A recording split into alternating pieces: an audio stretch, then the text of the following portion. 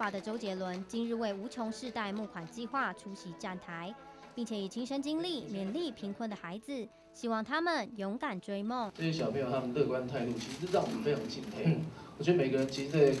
呃做每一件事情，对一方面是对自己有信心，也是然后也要对其他人有信心，对自己的家人有信心，是啊，永远不能有放弃的这种念头。来自南投的原住民小孩想翔。与姐妹三人从小在爸爸的教导下学会乐器，但爸爸却因为十年前的意外导致下半身瘫痪。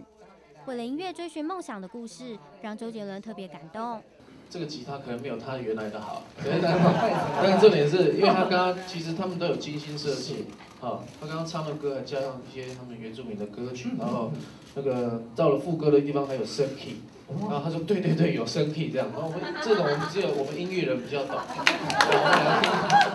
对啊，其他人就哦，所以我说继续加油一下。前天才刚公开结婚满一周年的周杰伦，面对即将出生的小生命，马上要升格当爸爸的他，心情似乎有点紧张。其实我还没有准备好，啊，对我还没有准备好，因为可能要等到，对啊，抱到小孩才会特别有一个爸爸的感觉。但是因为你们现在都在说爸爸、爸爸、爸爸这样，我现在还年轻啊，对啊。台湾《醒报》记者张正宏、林尚玉台北报道。